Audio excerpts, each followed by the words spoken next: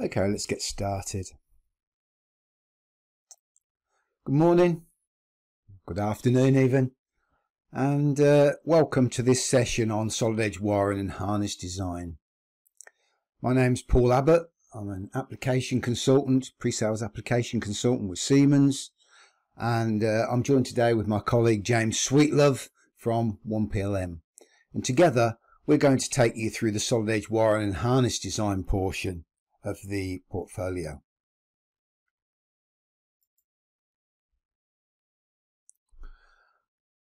So let's have a look at the agenda. We're going to be having a look at the industry trends and the implications that those trends have got on the market. We're going to have a look at what Siemens are, are doing about these implications. We're going to be demonstrating these uh, these solutions in a number of demonstrations and then we're going to take you through a few companies who have been through this before and the benefits that they've achieved and then we'll summarize what we've been through and open the floor up to any questions that you may have. So what are you going to learn during this session? Well, we're going to be creating a 2D schematic from scratch. We're going to be linking that into a harness in a number of different ways. We're going to do it manually, and then we're also going to do it via the 3D routing. All the while we're going to be doing analysis and design rule checks and then generating reports at the end for downstream consumption.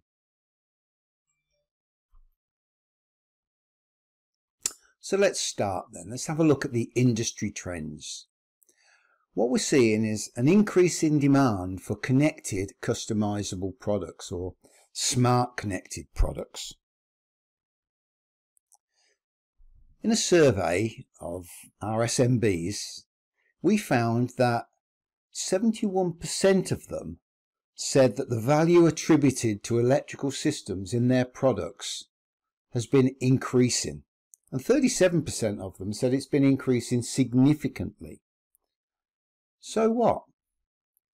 Well, what we're finding is that the um, implication or the impact of this trend means that we're seeing companies having delayed, delayed time to market, errors, missed cost targets, all the things you're seeing on the right hand side. And this is due to the added complexity that has been added down to these trends. So why is this then?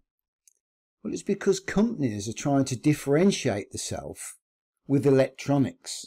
Whereas previously it was probably just a mechanical design, they're now looking at having a widget with a lamp in it, for instance. And people are going to buy that widget with that extra lamp. But that extra lamp means that it's adding to the complexity of that um, otherwise mechanical design. And this leads to having to comply with standards, rules, requirements, things that they've never had to do before. So their traditional manual methods of working are no longer keeping them up with the competition. So they're looking at new processes, new methods to actually achieve the result that they want. Here we see industries that are seeing that trend. Specialist vehicles, industry machinery, industrial machinery, consumer products, medical equipment, and the list goes on. This is by no means an exhaustive list. All of these pieces of equipment here have a schematic diagram that drives them. Now this may be done manually, it may be done on a disparate system. But essentially, we're creating, the electrical designers will be creating that schematic diagram. A lot of these pieces of equipment here, these um, uh, that we're seeing, they'll also have a harness. And that harness will be created away from the equipment on a bench somewhere. Then it's brought back to the equipment and put into place. Now, any changes that are made to that schematic at the front end, at the front end need to be reflected back in that harness design, or else there's going to be problems when it comes to getting it to work in the real world.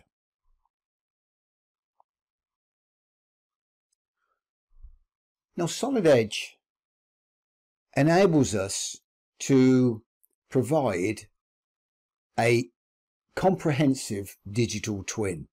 Now, what do we mean by a comprehensive digital twin? Well, it means that we can provide solutions for mechanical design, electrical design, simulation, manufacturing, publications, and then the management of all of this data that gets created and the ability to collaborate both internally and externally with your um, uh, suppliers and customers. So Solid Edge really is the um, the starting point for your digital transformation.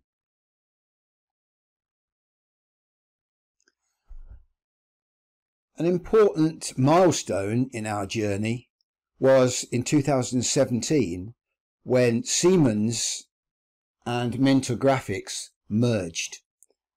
This brought a wealth of electrical capability from a leader in the ECAD field to an already leader in the mechanical CAD field.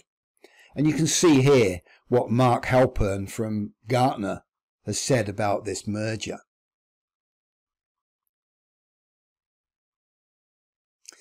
Now, like we've just said, Solid Edge is not just a mechanical CAD system. It's a portfolio of products brought to you by the Siemens Accelerator um, process, which will give you an end-to-end solution. Today, we're just going to be looking at the electrical design portion of that, which is split up into five areas. We're going to be looking into the three on the left in quite a bit of detail. The wiring design, the harness design, and the electrical routing. So I'm sure a lot of you are, maybe have, have seen this or are still in this particular area where the traditional approach is the mechanical engineer on the left hand side works in isolation to the electrical engineer on the on the right. Now, both of them are doing their jobs, but they're working in silos. There's a disjoint between the two of them. They're probably using disparate CAD systems. So any changes to the mechanical design take time to get to ripple through to the electrical design, if they do at all. And the only time they join together is either over the phone or at design review meetings. So any changes late in the design cycle are very difficult to address. So Siemens are looking at a, an intelligent electromechanical system. This is what we're doing about it. We want to join the mechanical world on the left hand side with the electrical world on the right hand side and link the two together. So as one makes a change, the other one can see that change. So they're working together. As long as they're on the same network, they'll be able to uh, collaborate with each other. No longer working in silos, no longer working on disparate systems.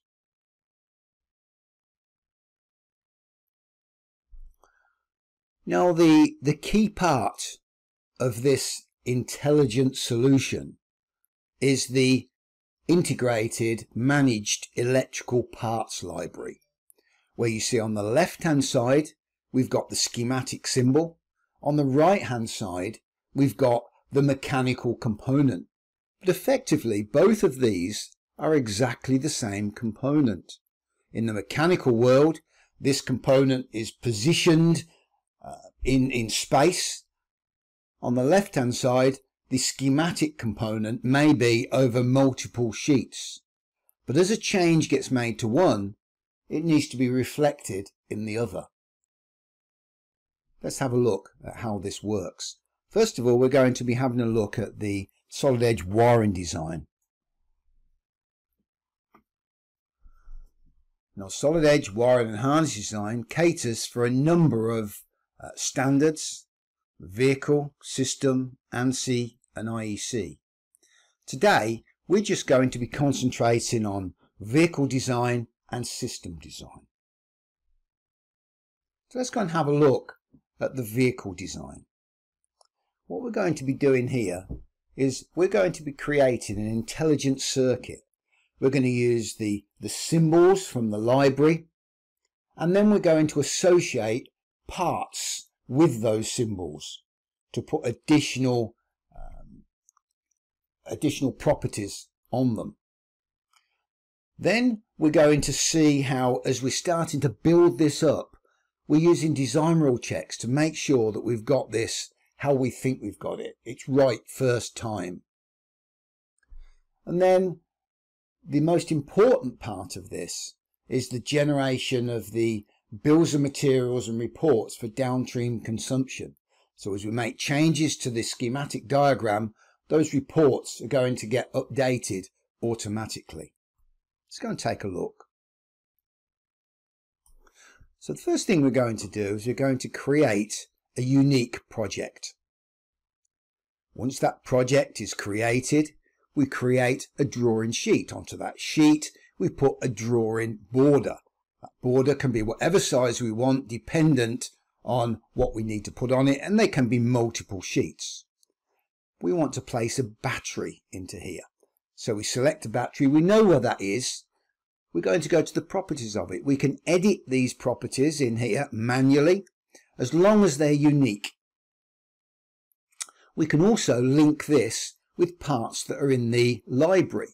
We search using filters on that library, we find the batteries that we've got and we then associate all of those properties with that particular battery that we've got in our, in our design. Now this second part, this switch, we're not sure where that is in the library. So we search on the switch, we find the specific switch we want, and again we place that in the design. There's a lamp. So where's the lamp? We find the lamp and we do the same with that. Now each one of these symbols, we want to associate that with a part in our library. So we find that part and we associate it with it. This is going to give us the correct information on our bills of materials. Now we want to interconnect these with wires. So we add a wire from a point to a point. Again, this must be a unique wire. Next piece, we're going to place a wire, but we're going to make it short. This is the design rule check. You can see here, it's not terminating at that pin. As soon as we terminate it at the pin, that design rule check goes away. So these checks are all running in the background as we're working. We'll complete that circuit. Now what we're going to do is we're going to do a qualitative check. This is just checking for continuity of the circuit. So we can go to the different states, either open and closed or error conditions. And we can see that we've got current flowing around there. Now we're going to do a more thorough analysis of this, a numeric calculation. But for that, we need to identify what size the wires are in here. So we're going to put a 0.35 wire on those wires and then we're going to run that again. Notice now this runs but the wire comes in red. Why is that? Because it's taking too much current based on the other uh, parts that are in here. So let's first of all put a fuse in there to protect that circuit. Notice we find that part, that fuse, we can place that fuse into the line, it breaks it back automatically, and now the circuit's protected, but the fuse is blown. Tells you how long it's blow, how long it took to blow it, and also the suggested rating of that fuse. So let's go and find a fuse. Let's place a new fuse in there and update the circuit. It recalculates it, but obviously the wire is still wrong. So we need to be able to change that wire size. We go in there, alter the properties of that wire, and the design rule checks in the background, and we see that the wire is now correct, only taking 53% of the rated current of the cable. Now, at this point, we can generate reports out of the out of the model, out of the, um, the schematic diagram, and those reports will generate things like uh, running lists, and any changes that get made to this circuit will be reflected in that running list. Now let's have a look at, at system design. Here we're going to be generating generic blocks for those um, those symbols and connecting them together. This may be because we're we're looking at um, generating um, something that we're not sure what's going to go in there yet. So it, it's really just well, we know we want we know we want a connector, we want that connector. We're not sure what they're going to be yet. So let's have a look at this. So we're placing a connector in here, but we know what this part is, and you can see it's put all the pins in for that particular part. We know what this two-way connector is going to be. So we can find the connector. If we don't know what it is, we can filter on, on the number of pins that it's got, and we can find that in the, in the library. We place that, and then we give it a, um, a designation. And then we're going to use the just copy and paste. And we want to flip this over in the other direction. Again, we'll just go in there and change the designation on that to something that is more um, associated with what we want. Again, these must be unique. So we'll find a six-way connector now. We'll place the six-way on the bottom of here. Notice as we're flipping it around to get the orientation correct. And then we'll just do a copy and paste of this onto the other side. So now all of our components are in there, we need to interconnect it. So this time we're going to use a, a multi-connect. So we're going to pick the two pins, pick the pins on here, and notice how it does the ortho orthographic connections automatically. We pick it, we pick the pins that we want, and it generates those, those wires. Now the order in which you pick those wires is quite important. So if we pick them in one direction on one and the other direction on the other, we're going to get a crossover that we see here.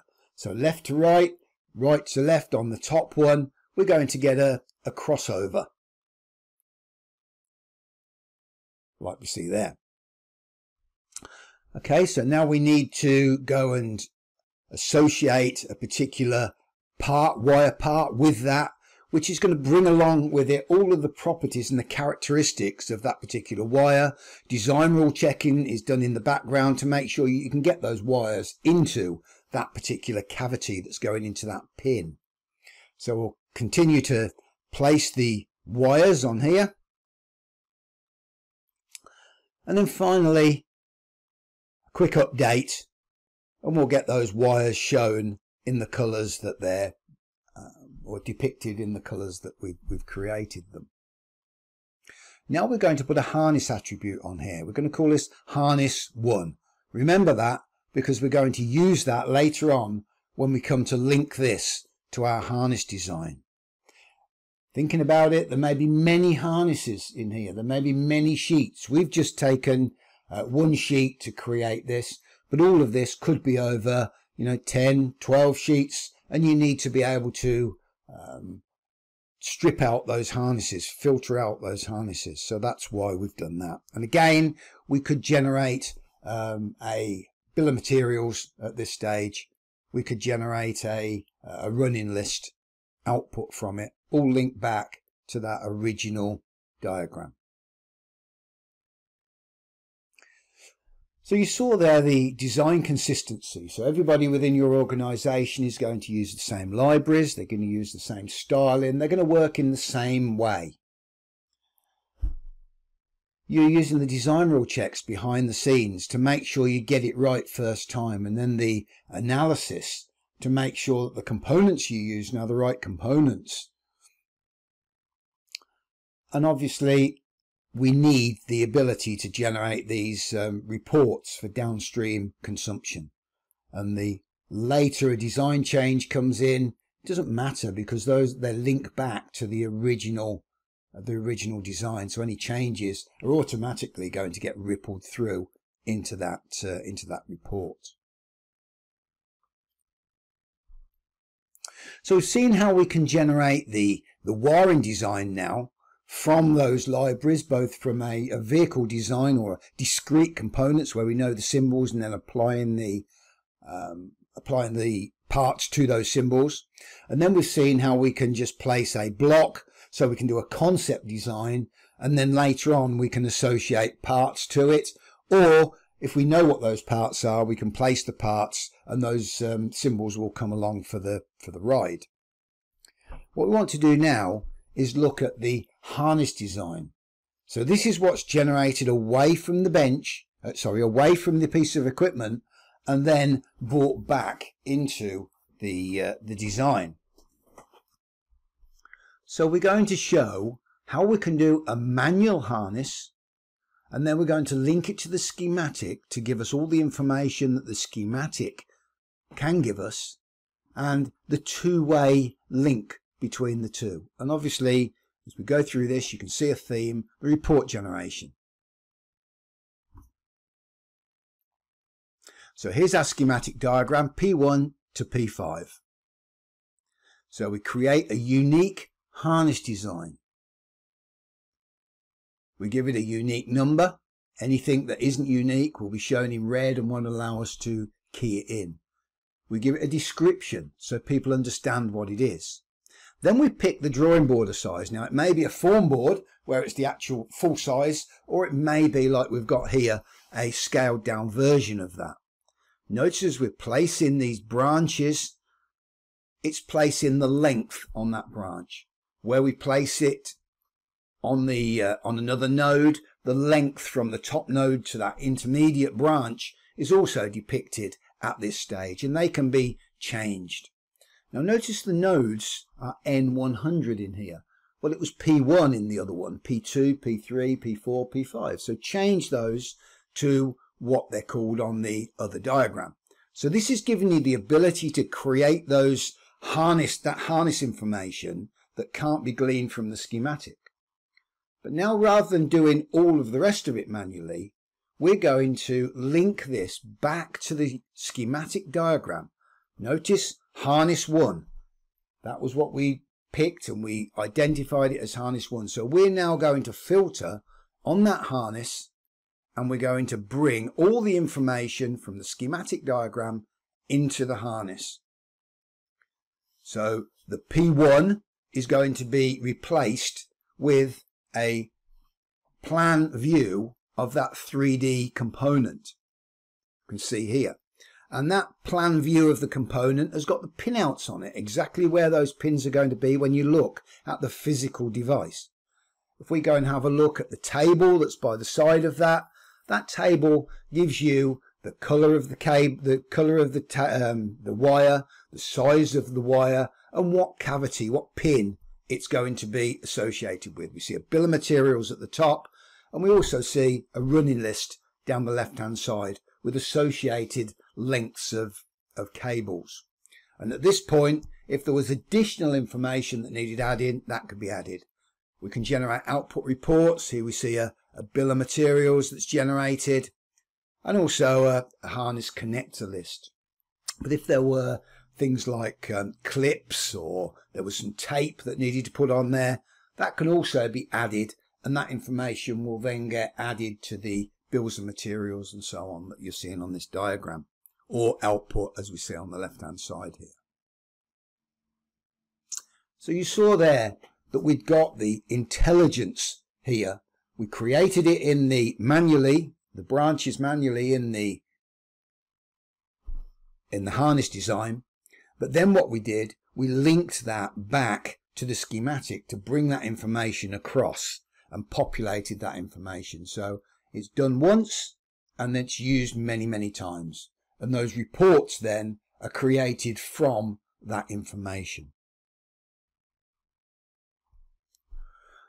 Now in the real world, we see a cabinet and that cabinet is something like the one we see on the right hand side here and that is the brain so that has got the the PLCs in there all the controlling mechanism for the things that you're seeing outside of that box such as uh, motors and pumps and um, any interconnecting devices And what we want to make sure of is that when we've got that wire, that wire is routed around that 3D component. And by routing it, that is going to give us an exact location of where those components are.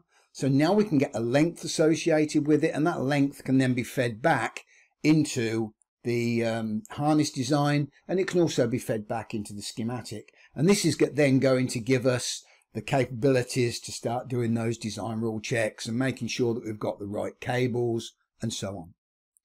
To show us this, I'm going to hand over to James and he's going to take us through this next portion of the presentation. Thank you very much. Thank you, Paul. So, for this next part of the session, I'll be diving deeper into what we call the connector mode.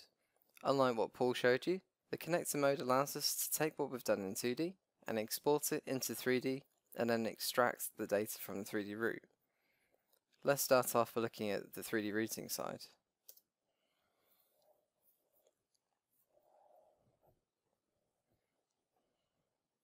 So for launch my model, I can access the 3D routing by going into Tools and Electrical Routing.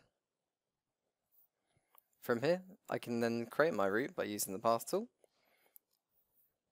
And I'm going to use the clips in my model to go ahead and create my path. As you can see, all I need to do is simply click on the clips and the path will be routed through them. However, the path in this regard is currently intersecting within the model. So what we can do is I can go back into my path and edit the points by using the Alt key, the same way that we can do using the 2D curve. All I'm going to do is I'm then going to go ahead and drag those points to then make sure that the path is then not interfering with the model anymore.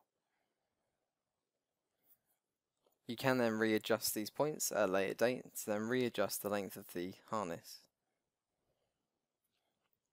We can then use the path tool to then build on top of our current path. So I'm going to click on the endpoint of that curve, and I'm then going to click to place down a few more points within free space. And exactly the same as before, I can then go ahead and click and drag on these points to then readjust my path.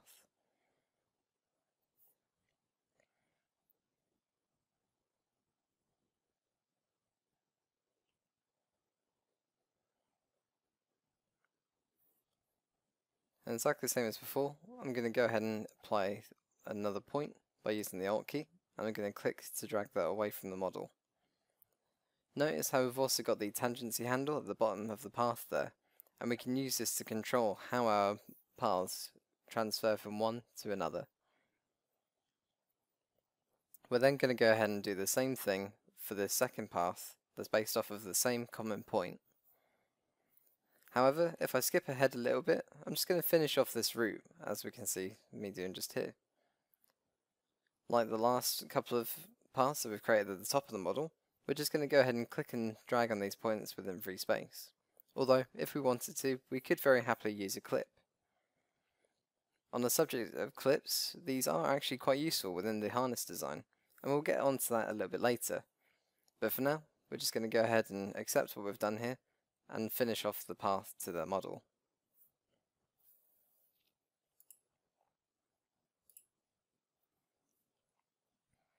Now we'll move on to what we call the connector mode.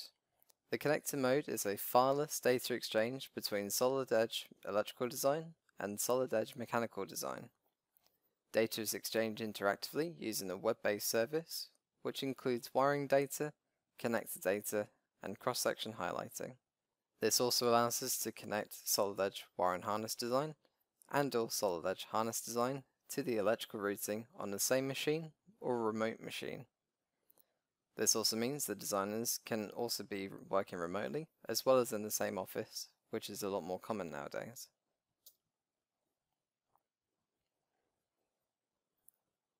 So let's have a look at the connector mode. So if we open up our model, we can connect to wire and harness in the 3D by using the connect function. When I click this, notice how we've got that connector mode log viewer in the top right hand side. It's currently blank, which means that we're not connected to the electrical environment. So, let's go and correct this.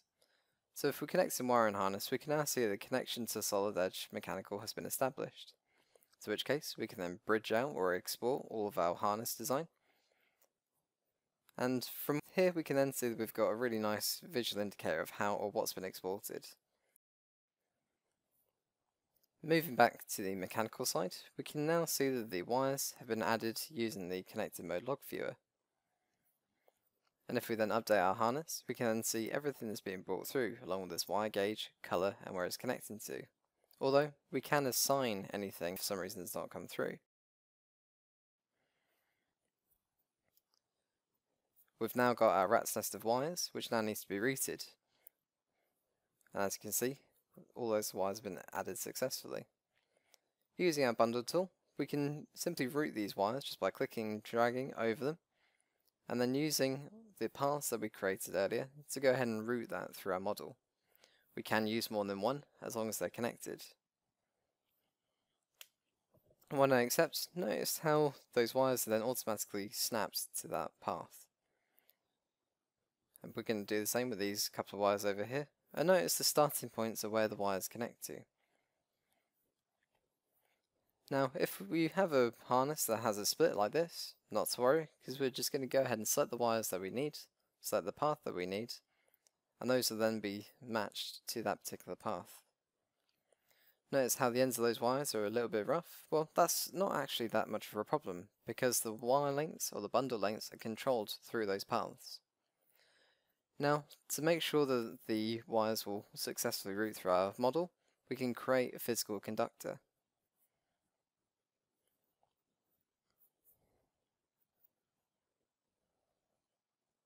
To quickly recap what we've seen so far, but we've showed you the ability to send our 2D schematic into the 3D environment and the ability to route those wires and bundles through the model using the connected mode. Now let's see how we can use the connector modes to create a harness in our 3D route. So what we'll be looking at in this particular section is how we can create a harness design through the topology exchange of the connected mode, and how we can generate reports from this. Let's have a look.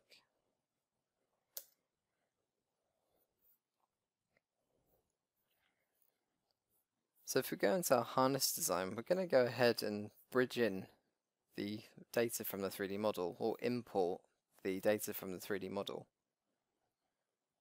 Once we click on this, we have various different options. However, I'm going to keep them as the standard options for now. Once we do this, we can then see what's been imported and whether there's any errors. Although, thankfully, for this one, there aren't any. Now for this, because I've got multiple harnesses been brought through, I'm going to go ahead and delete that one, because I only need the one for now. And as you can see, I'm just going to go ahead and uh, simply adjust the harness as to how I want it to look. And notice how it's also brought in those clips from the 3D model. Now if I was to go ahead and click and drag on one of these clips, notice how that number 4 stays the same. And that's because that's the wire length or the bundle length that's being controlled from the 3D model. So it doesn't matter how I've dragged that diagram, it will only be controlled through the 3D harness. So if I was to go back into Solid Mechanical and update that, then it will update within the harness design. Now what we're going to go ahead and do is we're going to synchronize our harness design with our wiring diagram. Now when we click on synchronize, Solid Edge will quickly synchronize them both. then from there you can see that all of the icons and also connected lists have been brought through. For these last couple of steps, I'm just going to go ahead and click and drag a few of these uh, parts here, so you can see the connected list has been adjusted to fit the screen better. And this is just so that everything's nicely laid out on your diagram, ready to be printed.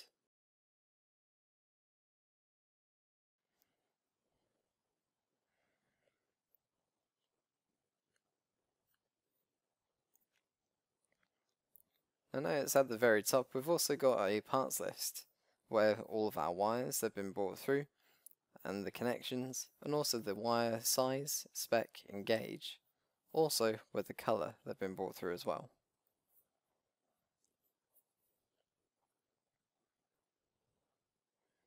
However, if we fit this to the screen, all I'm going to go ahead and do is simply create a report based off of this harness. So if I go into my reports builder, I can then select the type of report that I want. And from here it'll give me a nice little summary of what's involved within that particular report.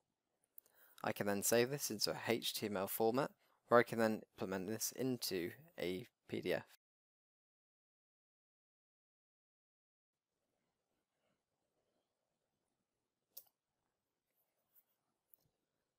We haven't really mentioned it so far, but Solid Edge wire and harness design also supports the most commonly used international standards for electrical design. These include vehicle and system design, which is what we've already seen. However, we've also got the ability to support ANSI and IEC standards as well. Also, we have the ability to support an IEC 81346 naming standard as well.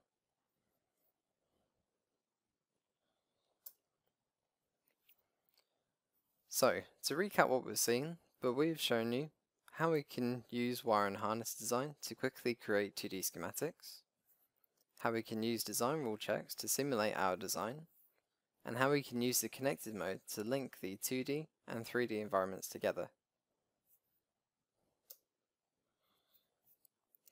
Moving on to some tips and tricks, Paul and I wanted to show you some of the things that we found useful for when getting to grips with solid edge wire and harness design ourselves. And these are what you can see on screen. For this, I'll take you through some shortcuts, how to edit some of the attributes in a schematic, and how we can easily filter using the multi-select mode. Now, you may have seen Paul and I using these throughout the session, but Solid Edge wire and harness design doesn't have buttons for certain actions like zoom and fit. Instead, they rely on what we call gestures, which I've displayed up on screen. The two we found useful are the view all and view area functions, which are the two either the top center and the top left hand side of the screen.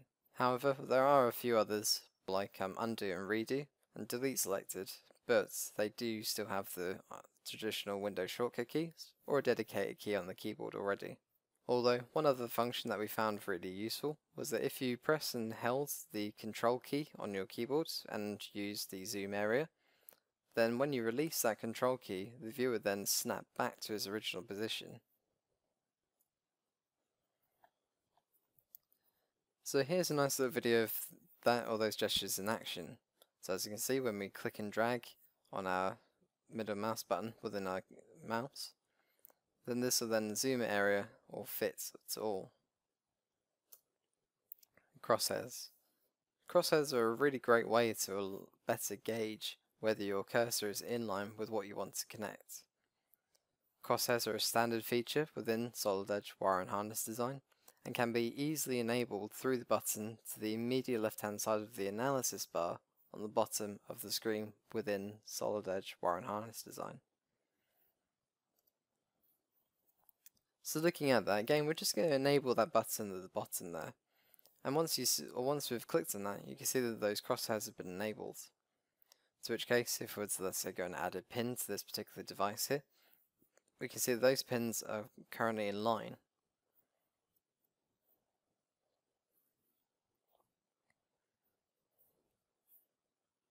We can also do the same thing when creating symbols as well, and also within the harness design. So these aren't all of the shortcuts available within Solid Edge wire and harness design, but these are the ones that we found most useful. As you can see, we have the normal Windows functions for copy and paste, which is Control C for copy and Control V for paste. But as well as these, we can also launch commands by the press of a button on your keyboard. So as shown on the screen, wires can be easily launched by pressing the W key, Extra pins can be created on a device by clicking on the device and then clicking the P key. And as well as these, we can quickly open the options of a component by selecting it and then clicking on the Alt and key, or sorry, the Alt and Enter keys on your keyboard. If for some reason we can't find a command we're looking for, we can press the space key to launch our command finder, and we can also pan our designs by clicking and holding our left mouse button for a second and then dragging our mouse. Like in the mechanical world, styles can also be used in solid edge wire and harness design to control the way our schematic looks. This also helps us build our designs to reflect our company standards and can be accessed in the Home tab in Solid Edge Wire and Harness Design. For this I've gone and selected a single element, then when I go into styles, everything that is able to be adjusted is shown in the styles options related to that element are also highlighted blue. For this element in particular, I'm able to adjust the font, font color, and annotation style and also the balloon style if needed. I can also adjust the way text reacts and also the colour of the component. However, it is worth noting that editing styles within a schematic will only be done for that individual component in that single design. If you want to make a global change, your schematic or to your schematic, that will have to be done via the project preferences, which can be accessed by going into the Solid Edge tab and selecting the project dropdown. I don't have enough time to go through the project preferences today, but the options here are nearly the same as they are in styles. The only differences are that you have a few more options to choose from in the project preferences tab, and also these will be saved to the global settings, meaning that when you make a change to those project preferences, they'll be reflected in all designs going forward. The last trick I wanted to show you was the way in which we can filter our selection use what we call the multi-select mode. With this trick, we can essentially tell Solid Edge wire and harness design to ignore other elements when fence selecting. The way we activate this is to select the element you only want to select, press and hold the shift key on your keyboard and then fence select over the required area. So if I go ahead and select this wire, I can then press and hold my shift key and then fence select to only select those wires.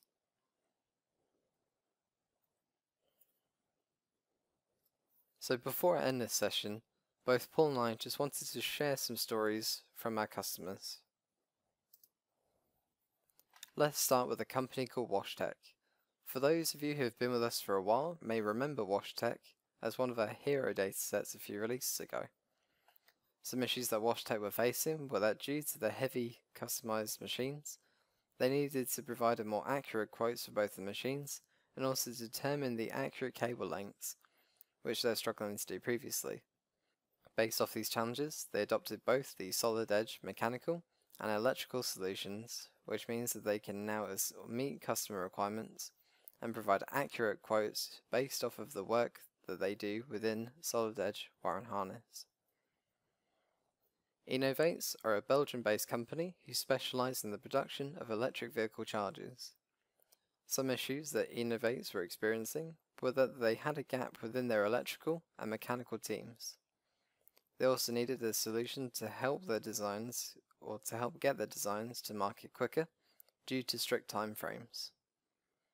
They were able to achieve their goals through the use of solid edge mechanical and wire and harness design.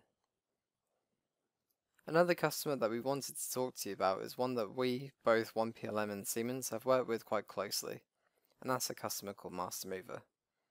For those of you that have had a demo from us, will have seen or heard of Master Mover as we use them in our demos. They are also a long-term user of Solid Edge mechanical side. However, like the other customers we've mentioned, Master Mover were also facing some challenges when it came to their electrical packages. Master Mover's main challenge was that the machines were getting larger and far more complex than they have ever done before, with an expected complexity growth of 10 times. Their previous solution was also separate from Solid Edge, so they also felt it would be a good point for them to change to a combined electromechanical solution. Because of these challenges, they adopted Solid Edge wire and harness design uh, to combine their electrical and mechanical design teams together with the ability to route the harnesses through the 3D model. And to elaborate on how Solid Edge wire and harness design is allowing Master Mover to progress forward with their development, and to give a scale of the types of projects that Solid Edge wire and harness design allows customers to overcome, they have partnered with Siemens, which is the wind turbine facility in Hull. The challenge set for this was that they needed to move a wind turbine blade that was in excess of 100 meters long and 100 tons in weight, safely in a confined space. Their current solution meant that they needed four of the largest machines that they currently produce. However, using Solid Edge and Solid Edge wire and harness design, they are now able to produce a machine large enough to allow them to only need two to be able to move a wind turbine blade with the ability to daisy chain them together so that it's being controlled by a single operator. Now to finish this off, Master Mover have been kind enough to show or to share a video with us showing these in action. And as I mentioned, they have now managed to be able to produce a machine that's able to be daisy chained to one other to move that wind turbine by a single user.